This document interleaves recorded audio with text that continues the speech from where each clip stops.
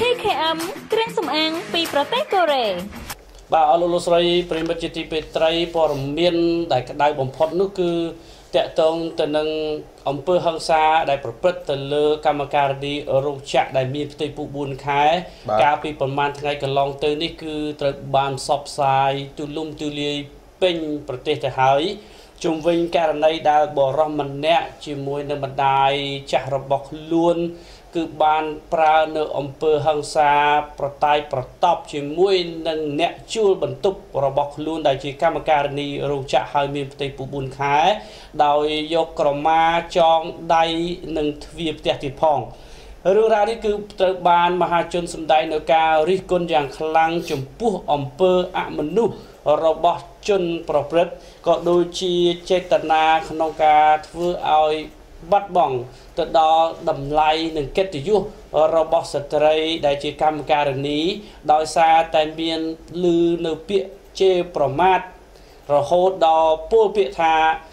កម្មពុមីកម្មកររោងចក្រសុទ្ធតែថោកទាបបាទរឿងនេះគឺ TNM បានតាមជាប់ជានិច្ចនឹងបានចុះទៅផ្ទាល់ដល់គ្រប់ទីកន្លែងរបស់ភាគីពាក់ព័ន្ធទាំងអស់ ដែលយើងបានទៅដល់បន្ទប់ជួលរបស់នាងកាពីមុនហើយជួបជាមួយនឹងដូនចាស់ដែលជាម្ចាស់ផ្ទះជួលនោះទៀតផងបន្ទាប់មកយើងក៏បានទៅជួប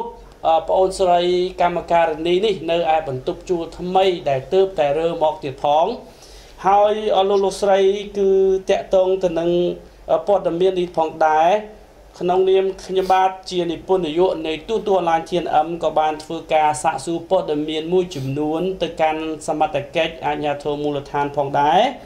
ដើម្បីចង់ដឹងលំអិតថាតើដំណើររឿងនេះដូចបដិចទៅហើយបាទដូច្នេះខ្ញុំបាទសូមអនុញ្ញាតឲ្យអលោកលោកស្រីប្រិមិត្តស្ដាប់នៅសំឡេងរបស់ប៉ូលីសមូលដ្ឋាន ដែល TNM បានសាកសួរតាមទូរស័ព្ទ ហើយហាក់ដូចជាមានការឆ្លើយតបមកវិញប្រៀបដូចជាការព្រៀនប្រដៅទៅដល់អ្នកសារព័ត៌មាន បាទដោយសារតែលោកយល់ថាអ្នកសារព័ត៌មាន គឺមិនមានវិជ្ជាជីវៈឬក៏មិនចេះសួរលោកឬក៏មិនចេះច្បាប់ទម្លាប់បាទដូច្នេះសូមស្ដាប់នៅសំឡេងរបស់ប៉ូលីសមូលដ្ឋានឆ្លើយឆ្លងជាមួយនឹងខ្ញុំបាទដែលជាអ្នកយកព័ត៌មានដូចតទៅខ្ញុំមកពីខាងទូទួលអនឡាញ TNM ណា ខ្ញុំចង់បញ្ជាក់បងបន្តិចបងតកតងនឹងករណីឈ្មោះអឿនស្រីម៉ៅនិងអឿននៀតណាដែលមានការសួរប្រកែកនិងរហូតដល់មានការបន្ទុះសារាយគ្នាមួយចំនួនបាទបាទហើយរឿងនេះគឺសម័យដែលអះអាងថាជនរងគ្រោះហ្នឹងគាត់បានពាក្យបណ្ដឹងត្រឹមត្រូវទៅខាងប៉ុស្តិ៍បងរួចហើយឬមួយយ៉ាងម៉េចបងបាទគាត់បានដាក់ពាក្យបណ្ដឹងរួចហើយមែនទេបង បាទបាទបាទបងហើយឥឡូវភាគីខាងយើងក្នុងនាមសមត្ថកិច្ចអញ្ញាធមមូលដ្ឋានអាចជ្រុងនឹងឲ្យជួបសម្រាប់សម្រួលគ្នាដោយមិនដាច់ហើយបងសមត្ថកិច្ចខ្ញុំណាមានសិទ្ធិសម្របសម្រួលបងខ្ញុំគ្រាន់ជាសនាធិការតុលាការហ្នឹងបងឯងនិយាយឲ្យសមត្ថកិច្ចសម្របសម្រួលវាខុសនឹងនីតិវិធីច្បាប់បងបានពាក្យហ្នឹងមកពីណា បើឲ្យបានពាក្យនឹងមកពីណាថាឲ្យសមត្ថកិច្ចសម្របសម្រួលហ្នឹងសមត្ថកិច្ចក្នុងផ្លូវច្បាប់ណាมันមានការសម្របសម្រួលទេមានតែតឡាការទេហើយបើអញសារព័ត៌មានខាងណាឈ្មោះអីខ្ញុំខាងទូទូ PNM បងទូទូអនឡាញ TN បងហើយបងហើយបើស៊ីអានេះបងឯងចេះធ្វើទូទូអត់ចេះព័ត៌មានខ្លួនឯងអញ្ចឹងមិនបាច់ធ្វើទូទូទេអរគុណហើយកុំនិយាយយកមកសមត្ថកិច្ចសម្របសម្រួលសមត្ថកិច្ចមានការសម្របសម្រួលទេ សមាជិកគឺជាសេនាធិការឲ្យតុលាការហឡូហឡូបងសុំតិចទៀតមើលបងបាទនិយាយមកបាទបងខ្ញុំខាង TNM មិញហើយបងប្រហែលជាយល់ច្រឡំហើយខ្ញុំគាត់តែបញ្ជាក់សួរបងទេមិនមែនថាសមត្ថកិច្ចសម្របសម្រួលអីទេបង អាបងឯងនិយាយមួយខ្ញុំមិនថាសម្របសម្រួលដល់ណាហើយខ្ញុំថតសម្លេងទុកហ្នឹងនឹងហើយបងដោយសារតែខ្ញុំគិតថាអាជ្ញាធរមូលដ្ឋានឬក៏សមត្ថកិច្ចនឹងអាចប្រហែលជាហៅភាគីទៅសងខាងមកសួរនាំអីចឹងបងថាដោះស្រាយបាននៅនៅកន្លែងឬមួយក៏ត្រូវដោះស្រាយមិនចេញយើងរុញទៅតាមប្រព័ន្ធតុលាការអញ្ចឹងចង់បញ្ជាក់ជូនបងអញ្ចឹងទេមិនថាឲ្យបងជួយច្រឡំថាខ្ញុំ ដាក់ទៅឲ្យសមត្ថកិច្ចសម្របសម្រួលអីទេបងគាត់ខ្ញុំចង់បានព័ត៌មានខ្ញុំសួរខ្ញុំសួរបងយើងយើងសារព័ត៌មានណាយើងត្រូវរករកអ្វីមួយសម្រាប់សារព័ត៌មានដែលមានមានស្វ័យដៃនឹងការដឹកយកសារព័ត៌មាននោះអានោះវាជាអាជីពរបស់យើងយល់អត់ក៏ប៉ុន្តែបងមកទេហៅសួរបលីសុំយកព័ត៌មានអាហ្នឹងបងមិនមែនជាសារព័ត៌មានទេយល់ទេបាទខ្ញុំបលីចឹងខ្ញុំបលីចឹងបើខ្ញុំបលី ខ្ញុំត្រូវតែមានឆន្ទៈមួយឆន្ទៈមួយបើសិនជាអឺជនរងគ្រោះគេមកប្តឹងរឿងកាប់កម្លាប់ណាមួយឬអំពើលួចណាមួយឬអំពើណាមួយយើងប្រអាងលើសាកសីយើងសុំយោបល់មេថ្នាក់ដំណនដើម្បីសុំការចាប់ខ្លួនហើយយើងសារព័ត៌មានដូចគ្នាអញ្ចឹងបងឯងសារព័ត៌មានមកសុំយោបល់ពីប៉ូលីសបានជុំប៉ូលីសពោនិយាយថាឧទាហរណ៍ខ្ញុំពោថារឿងហ្នឹងគាត់ជាការលេងសើច អីក្រៅខេបងជឿដែរអត់ទេបងខ្ញុំចង់តងទៅនឹងបណ្ដឹងរបស់លោកគ្រូដែលបានដាក់បណ្ដឹងទៅប៉ុស្តិ៍រដ្ឋបាលយើងហើយខ្ញុំក៏ចង់ដឹងថាដំណើរការវិវត្តដល់ណាហើយអីចឹងទេបងបងមិនអាចសួរខ្ញុំបានទេសួរទៅមេខ្ញុំសួរទៅប្រធានប៉ុស្តិ៍សួរទៅអធិការអធិការរងគាត់អ្នកកំណត់វិវត្តនៃនៃច្បាប់យល់ទេបាទបងឥឡូវយើងបាទខ្ញុំគាត់ជាអ្នកកសាងទេវទីទេ បាទបងហ្នឹងហើយដោយសារតែខាងជនរងគ្រោះហ្នឹងឲ្យលេខបងមកខ្ញុំដែរដើម្បីសួរនោះអញ្ចឹងដល់អញ្ចឹងខ្ញុំក៏ដឹងថាទួនាទីបងអីអ្នកណាអ្នកណាដែរទេអរគុណអញ្ចឹងបាទឥឡូវខ្ញុំបាទបាទខ្ញុំសូមអនុញ្ញាតសុំលេខទូរស័ព្ទអ្នកដែលអាចខ្ញុំសួរនាំបានទេបងសួរនាំអីទេអឺប៉ូលីសគេធ្វើការអ្វីគេកសាងទេវវិធីមិនអាចឲ្យបងឲ្យសួរនាំបានទេគេអាចបែក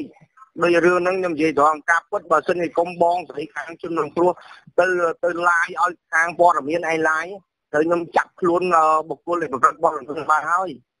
ខ្ញុំប៉ុន្តែដល់ពេលបងបងស្រីរបស់ជនរងគ្រោះទៅឡាយនៅមុខទៅឡាយក្នុងកន្លែងហ្នឹងដើម្បីឲ្យជនរងគ្រោះហ្នឹងរត់ពីខ្លួនបាត់អញ្ចឹងបានឈានរហូតដល់ការសុំយោបល់ពីថ្នាក់ដឹកនាំខាងលើខាងលើដើម្បី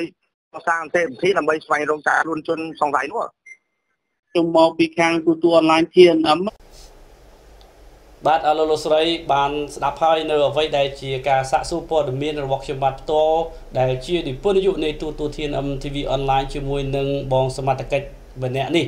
ហើយនៅពេលដែលសួរអំពីអត្តសញ្ញាណរបស់គាត់គាត់មិនបានប្រាប់អំពីអត្តសញ្ញាណរបស់គាត់ទេ ហើយគាត់ក៏បានឆ្លើយតបដោយការណែនាំចំពោះខ្ញុំវិញក្នុងនាមជាអ្នកព័ត៌មាន ហើយយើងមិនចង់តតាំងឬក៏តវ៉ាទីមទីអ្វីជាមួយនឹងសមត្ថកិច្ចនោះទេអ្វីដែលជាទូនទីរបស់អ្នកសារព័ត៌មាន គឺសួរព័ត៌មានគ្រប់បែបយ៉ាងទាំងអស់ឲ្យតែបានចម្លើយបានមកវិញនៅអ្វីដែលជាការផ្ដល់ព័ត៌មានរបស់ភាគីពាក់ព័ន្ធទាំងអស់បាទ យើងសួរគឺសួរបើនិយាយពីការសួររបស់អ្នកសារព័ត៌មានគឺសួរច្រើនមែនតើដែលសួរចំចំណុចប៉ុន្តែភាគច្រើននោះគឺឆ្លើយមិនចំចំណុចដែលយើងសួរហើយដូច្នេះរឿងនេះគឺប្រហែលជាគាត់មានការយល់ច្រឡំចំពោះខ្ញុំដែលបានតំណាក់តំណងសួរគាត់តាក់ទងទៅនឹងដំណើររឿងវិវត្តដល់ណាហើយដែលខ្ញុំបានទទួលលេខទូរស័ព្ទនេះក៏អំពីប្រភព ដែលប្អូនជាកម្មការនីរោងចក្រនឹងផ្ដល់ឲ្យថាសមត្ថកិច្ចប៉ូលីសដែលមានលេខទូរស័ព្ទនេះឯងដែលបានតាក់ទងមកប្អូនសួរនាំហើយអាចនឹងឈានទៅដល់ការជួបសម្របសម្រួលយ៉ាងណាឬក៏ដោះស្រាយយ៉ាងណាវាអាស្រ័យទៅលើភាគីទាំងសងខាង បាទខ្ញុំមិនមានចេតនាអ្វីដែលខលឬក៏ទូរស័ព្ទទៅសមត្ថកិច្ចដើម្បីឲ្យគាត់សម្រួលរឿងនេះទេ បាទនេះគឺមិនមែនជាភារកិច្ចទូនាទីរបស់ TNM ឡើយបាទអ្វីដែលសំខាន់មួយទៀតគឺជាការពិតណាស់អ្នកសារព័ត៌មានគឺត្រូវចេះសួរហើយត្រូវចេះសួរសួរឲ្យចំមនុស្សដោយសារតែយើងមានលេខទូរស័ព្ទដែលប្អូនស្រីគាត់ឲ្យយើងថាលោកបានខលទៅប្អូនស្រី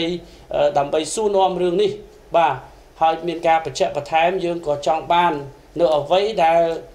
ជាការរួមចំណែកក្នុងការសម្រេចចិត្តឬក៏ផ្ដល់ព័ត៌មានឲ្យខាង TNM យើងទើបយើងទូរស័ព្ទទៅសួរបញ្ជាក់បន្ថែមមិនមែនមានន័យថាអ្នកសារព័ត៌មានមិនអាចសួរប៉ូលីសបានទេអរលោកលោកស្រីប្រិមិត្តនេះជាចំណុចមួយដែលគាត់ហាក់ចង់បង្ហាញថាធ្វើជាអ្នកកសែតត្រូវចេះរកព័ត៌មានដោយខ្លួនឯងកុំសួរប៉ូលីសបាទអញ្ចឹងបើចោលលួចគោលួចក្បីលួចម៉ូតូលួចកង់ លួចទ្រព្យសម្បត្តិអស់លោកលោកស្រីនៅពេលដែលព័ត៌មានទៅសួរសួរអស់លោកលោកស្រីបាត់របស់អី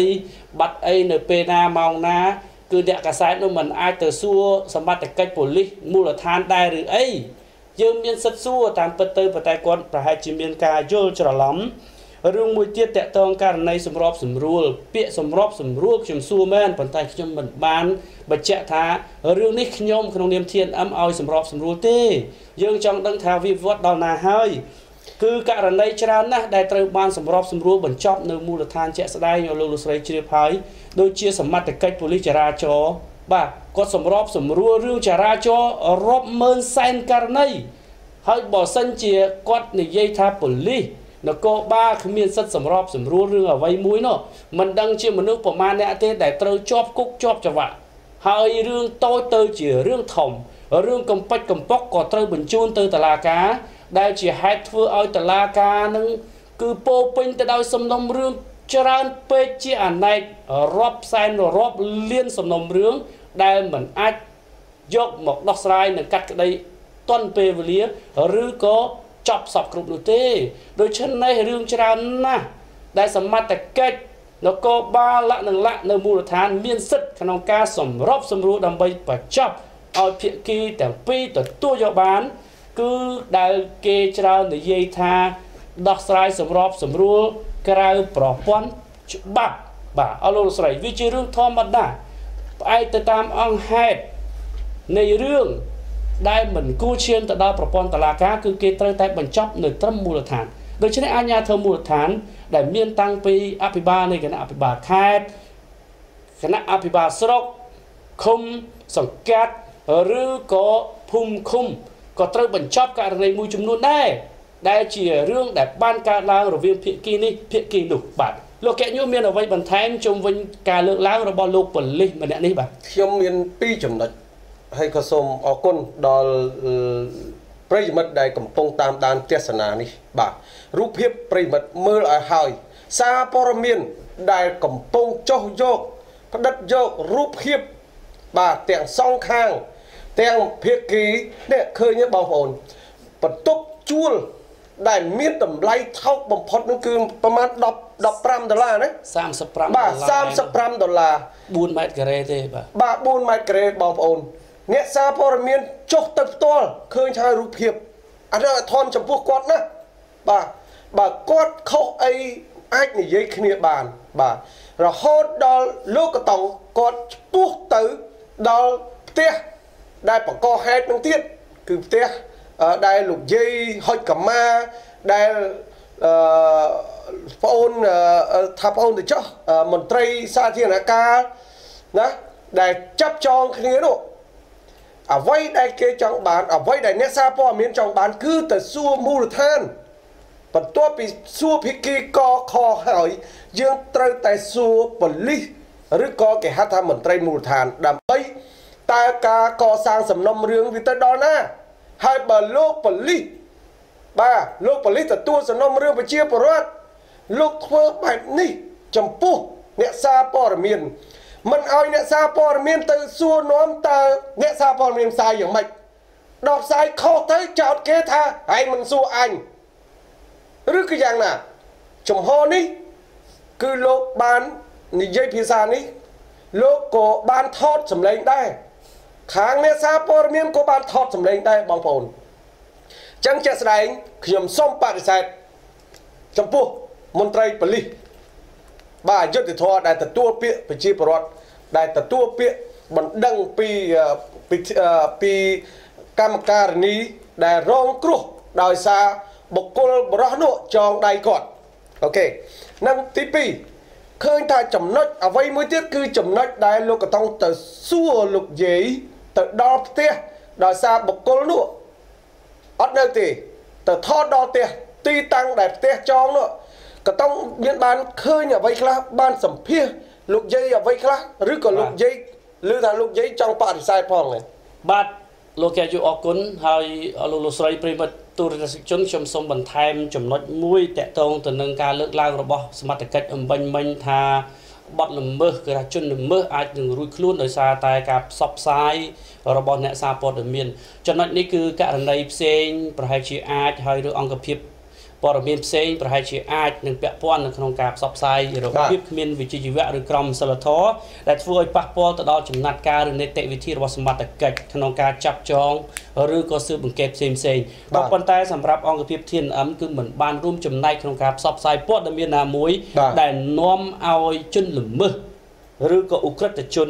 រត់គេចខ្លួនដោយសារការផ្សាយរបស់យើងទេសូមបញ្ជាក់ចំណុចនេះឲ្យបានច្បាស់លាស់ ខ្ញុំបានចុះទៅជាក់ស្ដែងលោកលោកស្រី នៅឯគេហដ្ឋានរបស់បាទម្ចាស់ផ្ទះជួលត្រូវបានចោទថាចាប់ចងកម្មការនីរូបនេះហើយនឹងប្រើនៅអំពើហិង្សាមួយចំនួនផងដែរ គឺបានជួបជាមួយនឹងលោកយាយម្នាក់ដែលត្រូវបានព័ត៌មានសង្គម Facebook បង្ហោះផ្សព្វផ្សាយទូទាំងប្រទេសទៅហើយនៅពេលដែលលោកយាយបានហុចក្រមាទៅឲ្យកូនប្រុសរបស់គាត់ដែលជាមន្ត្រីទៀតផងចងកម្មការនីរូបនេះហើយគាត់បានបញ្ជាក់ថាគាត់មិនមានអ្វីត្រូវផ្ដល់ព័ត៌មានជូនអ្នកសារព័ត៌មានឬទូទូណាទេគាត់គ្រាន់តែបានបញ្ជាក់យ៉ាងខ្លីថាគាត់ស្បត់5ធាតថាគាត់មិនបានប្រើអំពើហិង្សាឬក៏ជេរដៀលថ្មេះ ប្រមាថមើងងាយកម្មការនីរូបនេះឡើយបាទដូច្នេះការបញ្ជាក់របស់គាត់ដោយខ្លីប៉ុណ្ណេះដែល TNM គឺមិនអាចស្នើសុំនៅកិច្ចសម្ភារយូរវែងអនឡាញនោះទេនេះគឺជាសិទ្ធិរបស់លោកយាយដែលលោកយាយសុំមិនធ្វើការអធិប្បាយឲ្យអ្នកសារព័ត៌មានវែងឆ្ងាយទេលោកយាយគាត់បញ្ជាក់ថាគាត់ចាស់ទុំហើយគាត់ចំណាស់នេះហើយគឺគាត់មិនដែលទៅប្រើពាក្យពេចប្រមាថមើលងាយអ្នកណាឬក៏អឺ ជេរបញ្ចោតេះដៀលកម្មការនីរូបនេះទេប៉ុន្តែគាត់បានបញ្ជាក់ថានេះគឺជាទង្វើ បាទចោតប្រកាន់ទៅលើគាត់ទាំងស្រុងនិងកូនគាត់ទាំងស្រុងបាទហើយគាត់ក៏មិនបានដឹងថាកូនប្រុសរបស់គាត់នៅទីណានោះទេគាត់ស្បត់5ធាតថាគាត់មិនបានបំពេញបំពេញលើកម្មការនីរូបនេះឡើយបាទអរលោកលោកស្រីតកតងសំលេងឆ្លងឆ្លើយមួយទៀតរបស់ខ្ញុំបាទជាមួយនឹងប៉ូលីសដែលទទួល ហៅថាប្រធានផ្នែកព្រមត្តននៃអធិការខណ្ឌនៃខណ្ឌពោធិ៍សែនជ័យបាទដែលបានឆ្លងឆ្លើយជាមួយក្រុមការងារតាក់ទងទៅនឹងចំណាត់ការជាបន្តនៅរបស់សមាជិកក្នុងការបញ្ជូនសំណុំរឿងទៅតុលាការបាទអ្វីដែលដែលលោកកតងបានខលនោះគឺលោកកតងកំពុងតែនៅនឹងមុខពិធីកម្មការនីនឹងនៅក្នុងបន្ទប់ជួលនឹងនេះជាភាពជាក់ស្ដែងមិនអញ្ចឹងតើគាត់និយាយយ៉ាងម៉េច គាត់និយាយបែបវិជ្ជាជីវៈជាអ្នកមន្ត្រីរាជការឬក៏គាត់ជាមន្ត្រីអឺក្របលពៅអញ្ចឹងអស់លោកលោកស្រីអ្នកនាងកញ្ញាសូមស្ដាប់នៅសម្ដីរបស់មន្ត្រីប៉ូលីសនៅក្នុងខណ្ឌពោធិ៍សែនជ័យផ្នែកព្រំតាន់ភ្លេចខ្ញុំក្នុងនាមអ្នកព័ត៌មានបងស៊ូបំភ្លឺហើយចង់នាមអ្នកព័ត៌មានមិនបាននិយាយរឿងពាក់ព័ន្ធរឿងដំណោះស្រាយប៉ូលីសអត់ចេះធ្វើដំណោះស្រាយអូនដំណោះស្រាយខុសច្បាប់ បាទអញ្ចឹងលិខធ្វើតែការងារនីតិវិធីទេដែលដែលបងបានតាក់ទងទៅឲ្យភាគីអូនថាឲ្យទៅជួបជាមួយនឹងភាគីដែលមានបញ្ហានឹងនៅចំពោះមុខសមត្ថកិច្ចហ្នឹងតើទៅជួបដើម្បីអីបងហាតែបានទៅជួបគ្នាហើយថាដោះស្រាយហើយអត់មានឃើញដំណោះស្រាយទេតើយ៉ាងម៉េចវិញបងជួបគ្នាដើម្បីអីបងកំណត់ហេតុអីកំណត់ហេតុអីគេវិញមិនមិនកំណត់ហេតុទេដែល ដែលសមត្ថកិច្ចអញ្ជើញបងអូនស្រីទៅជួបគ្នាជាមួយនឹងភាគីខ្ញុំអត់អញ្ជើញផងខ្ញុំអត់អញ្ជើញផងហើយចុះដែលទូរស័ព្ទមកហើយបងអូនស្រីថាបានលេខទូរស័ព្ទដែលបងខាងសមត្ថកិច្ចគាត់តែហៅទៅជួបគ្នាអញ្ចឹងហ៎បងអឺពីមុនមកខាងភាគីគាត់នឹងសំណុំពោដល់អញ្ចឹងទៅខ្ញុំថាសំណុំពោខ្ញុំឲ្យខទៅតែឥឡូវខ្ញុំអត់ជប់នេះឲ្យជប់ទៅនីតិវិធីហ្នឹងខ្ញុំឲ្យគាត់ចាត់ចែងរឿងទៅខ្ញុំចាត់ចែងរឿងឲ្យទៅតុលាការ បាទអញ្ចឹងផុតពីដែនដែនសមត្ថកិច្ចប៉ុស្តិ៍រដ្ឋបាលយើងហើយមែនទេបងបាទបាទឥឡូវរឿងនឹងបញ្ជូនទៅតឡាការហើយឬមួយបញ្ជូនទៅខណ្ឌបងបញ្ជូនទៅតឡាការខ្ញុំប្រធានផ្នែកព្រំប្រទានខណ្ឌបាទបងបាទអញ្ចឹងរឿងនឹងបានទៅដល់បញ្ជូនទៅខាងលើដល់តឡាការហើយ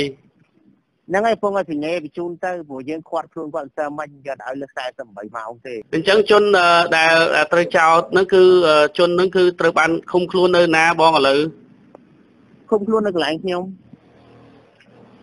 បាទមិនប្រើពាក្យឃុំទេគេថាខាត់ខ្លួនខាត់ខ្លួនបងណាបាទបងបាទបាទបាទបាទបាទហ្នឹងហើយបងអញ្ចឹងកំពុងឲ្យកសាងនីតិវិធីបញ្ជូនបងណាបាទបាទបាទ បាទហ្នឹងហើយបងអរគុណបងដើម្បីចង់បានព័ត៌មានហ្នឹងហើយយើងផ្សាយទៅឲ្យមានសម្លេងមានតរយៈភាពកុំឲ្យយើងផ្សាយទៅមានការខុសឆ្គងមកណាអរគុណច្រើនសម្រាប់ការផ្ដល់ព័ត៌មានអរគុណខ្ញុំក្នុងនាមអ្នកព័ត៌មាន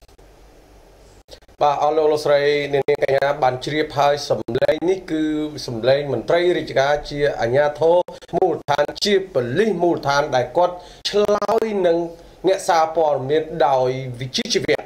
នេះហើយបានគេហៅថាមន្ត្រីទទួលការខុសត្រូវចំពោះអ្នកសារព័ត៌មានចំពោះប្រជាជន មិនមែនត្រឹមតែអ្នកសារព័ត៌មានរបស់លោក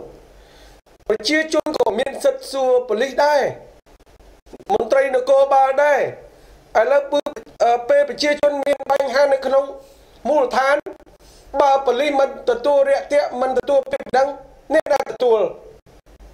បើយើងអត់ទទួលខុសត្រូវផងមិនចឹងអញ្ចឹងចុងក្រោយខ្ញុំសូមសរសើរមន្ត្រីប៉ូលីសផ្នែកខាងព្រំតនដែលឆ្លើយឆ្លងជាមួយអ្នកសារព័ត៌មានដែលថារៀបចំកសាងសំណុំរឿងទៅតុលាការហើយក៏សូមអរគុណដល់លោកអធិការបាទខណ្ឌពោធិ៍សែនជ័យផង ដែលមានកូនចៅរបៀបនេះប៉ុន្តែខ្ញុំ នៅតែមិនទទួលស្គាល់កូនចៅមន្ត្រីខាងយុទ្ធធរប៉ូលីសខាងទទួលពាក្យបណ្ដឹងបែរទៅជាសឡុតអ្នកសារព័ត៌មានថាបើចង់ចេះចង់យកព័ត៌មានកុំមកសួរខ្ញុំតែសួរទៅខាងជនដៃដល់រត់បាត់ហ៎ប្រើអំពើហិង្សាជាបទល្មើសជាក់ស្ដែង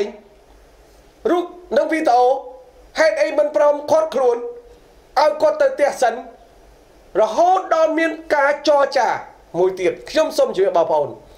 បើការចរចាមិនសិលមិញសិលមួយថ្ងៃនេះបើព្រមត្រឹមតែ3000ដុល្លារគឺចប់សពគ្រប់រីឯកម្មការនីស្ត្រីរងគ្រោះនោះដែលពពោះនោះគាត់ក៏ព្រមយកដែរ3000ដុល្លារ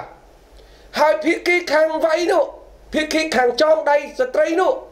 ក៏គាត់ព្រមដែររហូតដល់ឲ្យប៉ូលីស ទៅធ្វើអីប៉ូលីសខលទៅគាត់ដល់គាត់ទៅគាត់ថាអត់មានលុយវិញនេះជារឿងម៉េចឥឡូវនៅថ្ងៃនេះ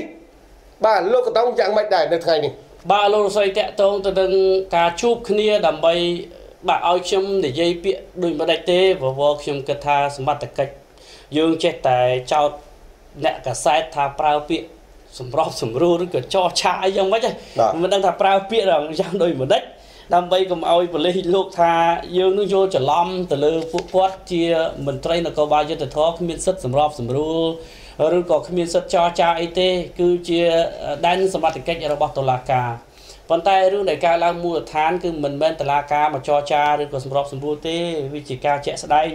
គឺមានតែអាជ្ញាធរមានសមត្ថកិច្ចនៅឯមូលដ្ឋាននឹងជាអ្នកសម្របសម្រួលរវាងភាគីពាក់ព័ន្ធទាំងអស់ ដែលទូរស័ព្ទមកឲ្យប្អូនស្រីកម្មការនេះនេះទៅជួបទៅដល់សាលាខណ្ឌពោធិ៍សែនជ័យជួបរហូតដល់ជួបជាមួយនឹងភាគីជនបង្កនឹងទៅទៀតជាមួយនឹងក្រុមគ្រួសារពួកគាត់បាទសម្របសម្រួលទាសំណងសងគឺថាតាមពាក្យបណ្ដឹង គឺទៀមទា5000ដុល្លារប៉ុន្តែជនបង្កមិនមានលទ្ធភាពដោយសារគាត់ថាគាត់អត់មានលុយ5000ដុល្លារទេ គឺ ចុងក្រោយសម្របសម្រួលនៅត្រឹម3000ដុល្លារធានអមព័ត៌មានពិតគ្រប់ទីកន្លែងសូមជម្រាបដោយពិតពិត3000ដុល្លារបងអូនកម្មការនេះក៏ព្រមដើម្បីបញ្ចប់រឿងនឹងទៅកុំឲ្យវែងឆ្ងាយឡើងដល់តុលាការជាប់គុកជាប់ច្បាប់បាទក្រុមគ្រួសាររបស់ជនបង្កក៏ព្រមថា3000ដុល្លារហើយគាត់សុំជូន1000ដុល្លារសិន សល់2000ដុល្លារទៀតគាត់នឹងចាត់ចែងរៀបចំតាមក្រោយតាមលទ្ធភាពបដើបដើបានន័យថាដូចជារំបដោះបដោះឲ្យទៀតបាទហើយគាត់ក៏ត្រឡប់ទៅផ្ទះវិញចេញពីការជួបចរចាគ្នាវិភាគីទាំងពីរបាទក្រោយមកទៀតស្រាប់តែសមត្ថកិច្ចនឹងបានបញ្ជាក់មកវិញហើយថាមិនមានការចរចាទៀតទេមិនបានសំបីតែមកកាក់ម៉ាសេនកុំថាឡើយ3000ដុល្លារនោះ បាទហើយសមត្ថកិច្ចបញ្ជាក់ថារឿងនេះត្រូវបញ្ជូនទៅតុលាការទៅវិញហើយក្នុងនោះដែរលោកលោកស្រីព័ត៌មានច្រើនណាស់ដែលបានផ្សព្វផ្សាយនៅក្នុងជំនួបនៃការជួបជាមួយនឹងសមត្ថកិច្ចដែលមានគេហៅថានៅឯខណ្ឌពោធិ៍សែនជ័យជួបភាគីនឹងចរចាសម្រាប់ស្រួយយ៉ាងម៉េចខ្ញុំក៏មិនដឹងថាប្រើពាក្យដូចម្ដេចទេបាទបាទស្រាប់តែជួបនោះមានថតរូបនៅក្នុងជំនួបនោះ មានសមត្ថកិច្ចមានលោកអធិការខណ្ឌពោធិ៍អែតជ័យផងដែរដែលមានវត្តមានហើយនឹងជនដែលត្រូវបានចោទថាជាជនបង្កបាទហើយព័ត៌មានបង្ហោះបង្ហាញពេញពិភពលោកតែម្ដង ថាកម្មការនីនេះគឺទទួលបានសំណងរួចហើយបញ្ចប់រឿងត្រឹមនេះ គឺសំណង3000ដុល្លារដោយមានដាក់ទាំងលុយណែដាក់ទាំងលុយ បាទដាក់ទាំងរូបលុយបាទថាបានសំណងហើយ3000ដុល្លារបាទអញ្ចឹងជាក់ស្ដែង TNM យើងមិនចេះតែផ្សព្វផ្សាយទេបាទយើងបញ្ជាក់បន្ថែមឲ្យបានពិតប្រាកដមិនដោយសារព័ត៌មានដតីចេះតែផ្សាយផ្ដេសផ្ដាស់វាប៉ះពាល់ដល់កិត្តិយសប្អូនស្រីហើយវាធ្វើឲ្យប្អូនស្រីហ្នឹងរងទុកមួយសាហើយហ្នឹងគឺរងទុកមួយសាទៀតពិបាកលើពិបាក គេគ្រប់គ្នាគេយល់ថាប្អូនព្រមទទួលបានសំណងគេសប្បាយសាទរហើយបានហើយ3000ដុល្លារប្អូនអាចយកទៅអឺព្យាបាលរបួសស្នាមតិចតួចឬក៏អឺអាចនឹងមានលទ្ធភាពបាទទុកលុយនឹងសម្រាប់ដល់កូននោះបាទពេលគាត់សម្រាលគាត់ពិបាកណាស់នៅផ្ទះ4ម៉ែត្រការ៉េទប់ជួលនោះបាទកម្មការនីមានស្អីលោកលោកស្រីអាណិតណាអញ្ចឹងគេសាទរគេយល់ថាបានសំណងឲ្យបញ្ចប់រឿងហើយនាំគ្នាផ្សព្វផ្សាយពេញប្រទេស ដល់តែជាក់ស្ដែងបងអូនស្រីបញ្ជាក់យ៉ាងម៉េចសូមឲ្យអ្នកបច្ចេកទេសចាក់មើលបងអូនស្រីបញ្ជាក់យ៉ាងម៉េចចំពោះមុខ TNM បាទជាក់ស្ដែងតែម្ដងខាងខ្ញុំអត់បានទទួលសំណងហើយអត់បានទៅដោះស្រាយអីជាមួយភាគីបង្កទេបងហើយខាងព័ត៌មានគាត់ចុះផ្សាយថាខ្ញុំនឹងបានទទួលសំណង3000ដុល្លារហើយបញ្ចប់សាច់រឿងគឺអត់មានទេបងព័ត៌មាននេះគឺมันពិត ហើយខ្ញុំក៏សូមសំណូមពរដល់បងបងផ្សាព័ត៌មានខ្លះកុំចេះតែយកព័ត៌មានមិនពិតយកទៅផ្សព្វផ្សាយធ្វើឲ្យខ្ញុំជាជនរងគ្រោះកាន់តែមានការលំបាកថែមហើយមានកាន់តែការរងអឺរងគ្រោះថែមទៀតខ្ញុំសូមសំណូមពរបើព័ត៌មានមិនពិតខ្ញុំសូមសំណូមពរឲ្យបងផ្សាយអ្វីដែលពិតព្រោះខ្ញុំជាជនរងគ្រោះពិតជាអត់បានទទួលសំណងនេះមែនបើសិនជារុញទៅប្រព័ន្ធតុលាការក៏ខ្ញុំ ព្រមដែរបងព្រោះខ្ញុំចង់ឲ្យដោះស្រាយឲ្យមានយុត្តិធម៌សម្រាប់ខ្ញុំព្រោះខ្ញុំអត់បានទទួលសំណងដោយពាក្យគេនិយាយមែនបងនឹងសូមឲ្យបងខាងតុលាការក៏ជួយរកយុត្តិធម៌ឲ្យខ្ញុំនឹងចាំចាប់ជនល្មើសឲ្យបានខ្ញុំសូមសនំពរឲ្យសម្ដេចតេជោនិងលោកជំទាវជួយរកយុត្តិធម៌ហើយជួយមើលកូនចៅដែលអត់ខ្វះខាតអត់មានអីផងហើយ ជួយចាប់ជនល្មើសឲ្យបានដើម្បីមកផ្ដន់ទាទោសដើម្បីរកយុត្តិធម៌ឲ្យខ្ញុំជាប្រជាជនដែលរងគ្រោះហើយត្រូវគេបំភ្លើសគេធ្វើបាបដែលខ្ញុំកំពុងតែគ្មានប្រាក់នឹងតតាំងជាមួយគេអ្នកមាននឹងសូមឲ្យសម្ដេចជួយរកយុត្តិធម៌ឲ្យខ្ញុំផងខ្ញុំសូមឲ្យសម្ដេចជួយរកមេធាវី ដើម្បីជួយការពារក្តីឲ្យខ្ញុំផង ដើម្បីតតាំងជាមួយជនល្មើសដែលគេកំពុងតែមានលុយឲ្យគម្រាមកំហែងមកលើពួកខ្ញុំ និងសូមឲ្យសម្ដេចជួយដល់ពួកខ្ញុំដែលជាជនរងគ្រោះ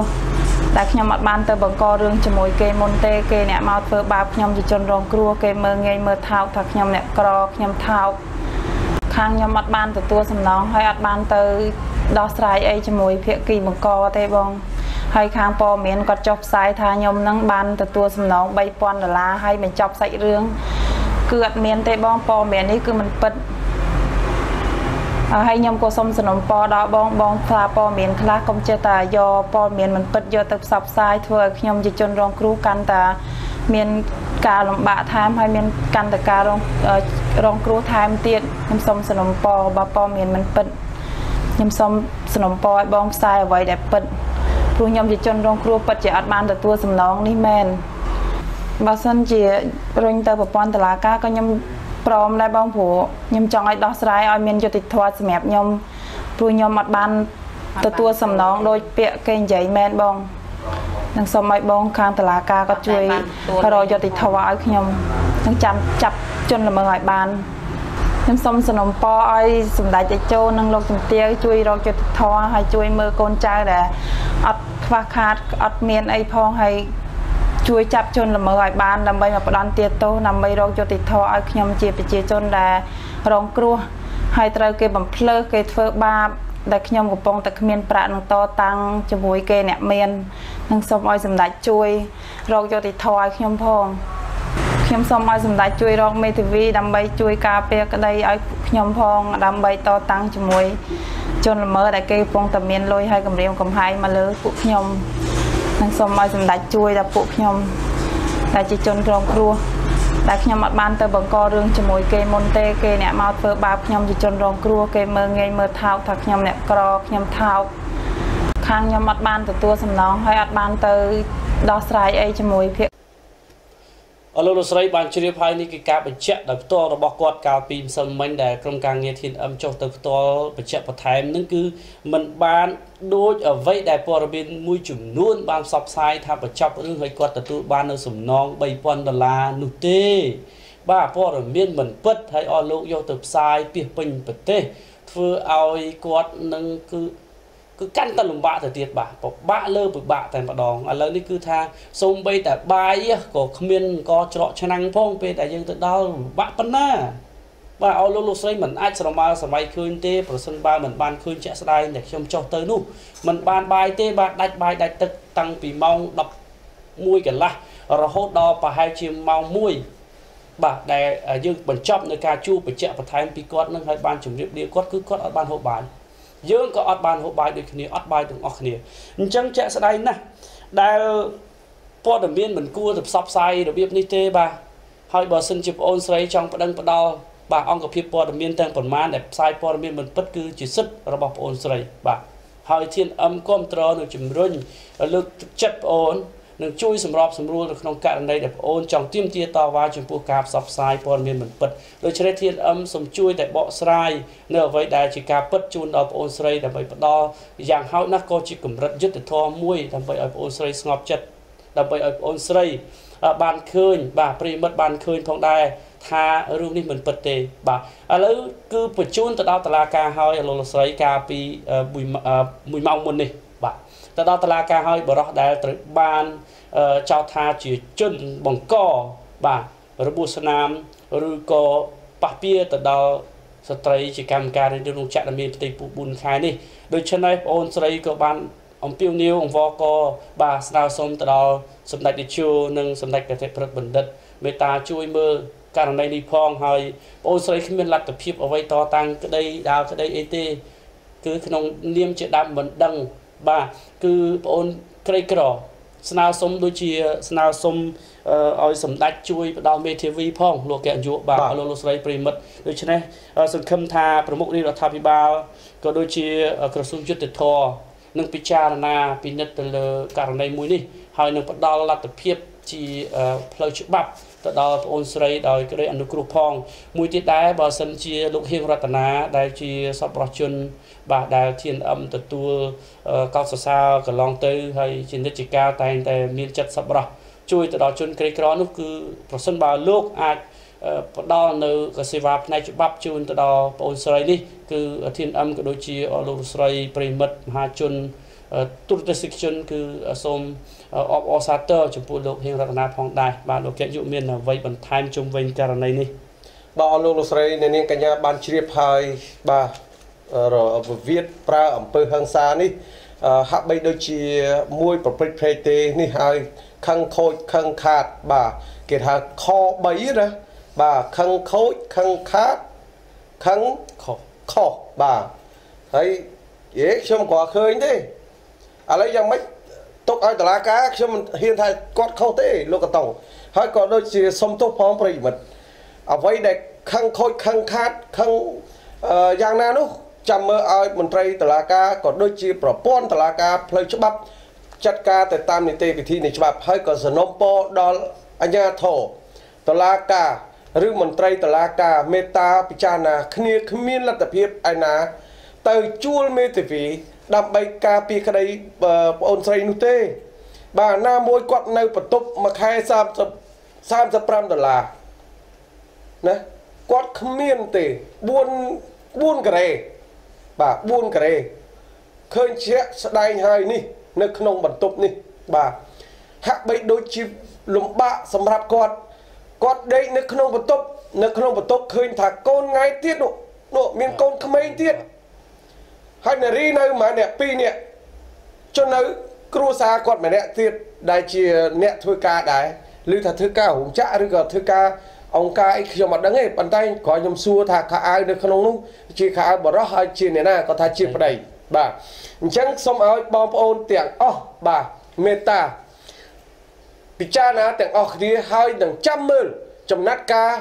តុលាការមានភាពយុត្តិធម៌ចំពោះគាត់ដែរឬទេ ចំពោះការកាត់ក្តីនេះ សង្ឃឹមថាបើគាត់អឺគេថាថាកាត់ក្តីហើយខាងតុលាការកាត់ក្តីហើយគាត់ទៅសុំទោសជាសាធារណៈឬក៏បង់ជំងឺចិត្តនឹងត្រូវបានបញ្ចប់ប៉ុន្តែបើនៅតែអះអាងទៀតសង្ឃឹមថាលោកហៀងរតនាតែងតែគិតគូរដល់អ្នកក្រីក្រសង្ឃឹមថាលោកហៀងរតនាបានឃើញបានឮនឹងជួយសន្តោសនឹងជួយរកមេធាវីជូនអឺ កម្មការនេះនេះផងបាទសូមឲ្យសូមឲ្យលោកហៀងរតនាមើលព័ត៌មាននេះផងបាទបាទអរលោកលោកស្រីព័ត៌មានចុងក្រោយបំផុតដែលយើងទទួលបានពីតុលាការដំបងរាជធានីភ្នំពេញបានបញ្ជាក់ឲ្យថាមន្ត្រីសាធារណការម្នាក់ឈ្មោះថាអ៊ូប៊ុនធី ដែលបានចងស្ត្រីមានផ្ទៃពោះកម្មការនីធ្វើបាបនោះគឺត្រូវបានបញ្ជូនទៅតុលាការហើយហើយអ្នកនាំពាក្យនៃសាលាដំបងរាជធានីភ្នំពេញគឺលោកគុជកំឡុងបានបញ្ជាក់ថាអัยការនឹងធ្វើការពិនិត្យលើសំណុំរឿងនេះទៅលើអង្គហេតុជាមុនសិន ហើយនឹងសម្រេចជាផ្លូវការនៅពេលក្រោយ បាទអរលោកលោកស្រីបើតាមពាក្យបណ្ដឹងគឺជនរងគ្រោះបាទដែលបានដាក់ពាក្យបណ្ដឹងនោះគឺពីបទ ប្រើនៅអំពើហិង្សាទៅលើរូបកម្មការនីកាលពីថ្ងៃទី5ខែមេសា2020វេលាម៉ោងប្រមាណជាមួយរសៀលដែលស្ថិតនៅក្នុងបន្ទប់ជួលលេខ A4 ស្ថិតនៅក្នុងភូមិព្រៃទាសង្កាត់ចោមចៅ3ខណ្ឌពោធិ៍សែនជ័យ ហើយដែលនៅពេលនេះគឺជនបង្កនេះត្រូវបានបញ្ជូនទៅតុលាការហើយកាលពីរសៀលនេះតែម្ដងឥឡូវនេះគឺកំពុងតែពិនិត្យលើសំណុំរឿងហើយលទ្ធផលយ៉ាងណាយ៉ាងណានោះគឺ TNM កំពុងតែតាមដាននៅរាល់វិវត្តការប្រែប្រួលនៃករណីនេះហើយនឹងជម្រាបជូនអស់លោកលោកស្រីប្រិមិត្តនាពេលក្រោយផងដែរ